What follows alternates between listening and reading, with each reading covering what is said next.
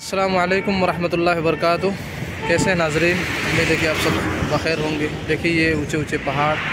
हम आज एक मकसद के तहत इस बीड़ बाईपास से गुज़र रहे हैं, बीड़ ज़िले।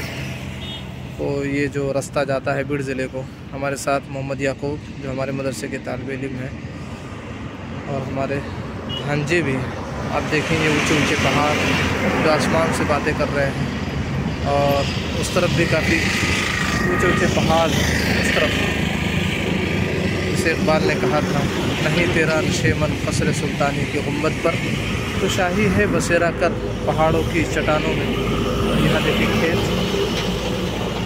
मैं तुम्हें हमारी गफलत से बेदार करने आया हूँ। तुम कैसे दुनिया के रंगीनियों में डूब गए हो? तुम्हें तो डूबने वाले का सहारा बनना था, लेकिन तुम तो खुद डूब गए हो। देखें ये कितना खुशनुमा मंज़र है।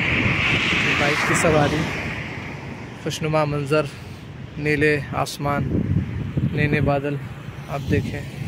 बहुत खूबसूरत मंज़र है और ये जो बीड़ ज़िले को बाईपास जाता है, बहुत ही सुकून रास्ता है।